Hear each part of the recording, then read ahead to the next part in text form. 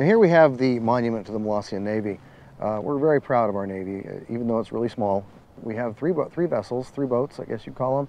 Uh, a larger raft that we call the uh, MS Wombat, and then the two smaller uh, are actually uh, inflatable kayaks, and that's the Bandicoot and the Platypus. And even though it seems kind of incongruous to have a Navy out here in the desert, because you don't really see any water, over the border in the United States there are several lakes. This is the Space Monument. Uh, of course, the Molossian space program is kind of legendary. We've done some really, really wonderful things with the small rockets that we've had. Started out with just simple rockets, and then we worked our way up